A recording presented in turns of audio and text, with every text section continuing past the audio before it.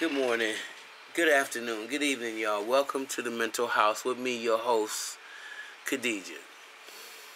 Um, I just want to give y'all an update with the Supreme Court ruling um, in terms of Comcast and Byron Allen.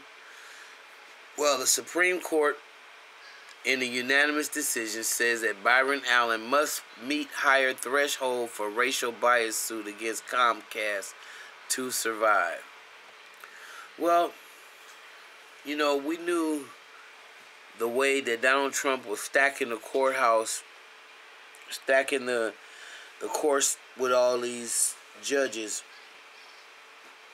appointing all these conservative and these uh, race first um, people to the Supreme Court, then you already knew we weren't going to have a fair chance in seeing a positive outcome.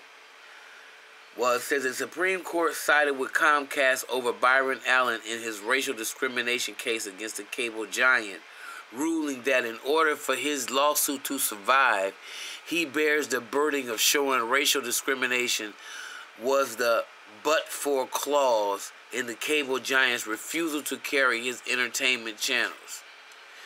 Injustices in a unanimous, ununanimous decision ruled that to prevail, a plaintiff must initially plead and ultimately prove that, but for race, it would not have suffered the loss of a legally protected right, according to the opinion.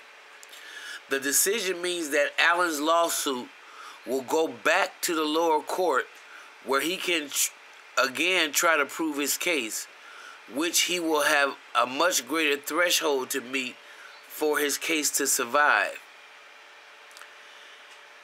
At issue was whether Allen's 20 billion lawsuit should have survived beyond the pleading stage was merely proving that in Comcast's decision to deny carriage of his entertainment studio channels, his race his race was a motivating factor or whether it was the sole cause, also known as the but for in the legalese. The ruling was viewed as having a potentially significant impact on the future of racial discrimination cases. The Ninth Circuit Court ruled in favor of Allen last year, but in oral arguments, some of the justices find, found fault with the lower court's reasoning.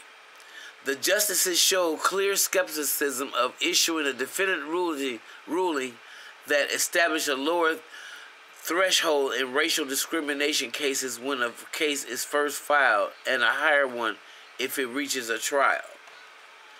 Justice Neil Gorsuch, who delivered the opinion for the court, wrote, Here a plaintiff bears the burden of showing that race was a but for cause of its injury.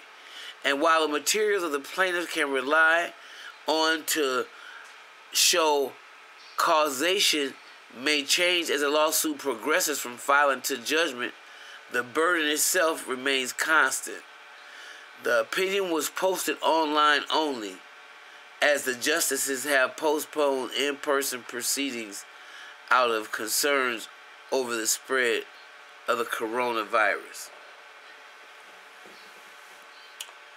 So there you have it. There you have it a blow to black people in media every everywhere. Uh, a blow to black folks working jobs to everywhere, in in anywhere and everywhere.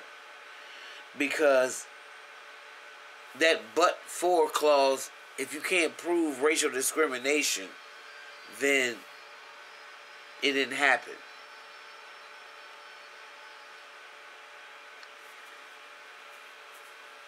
Wow.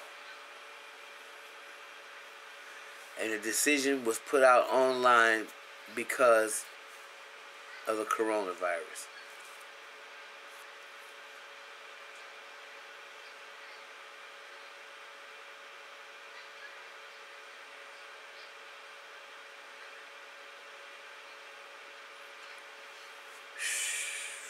Oh well.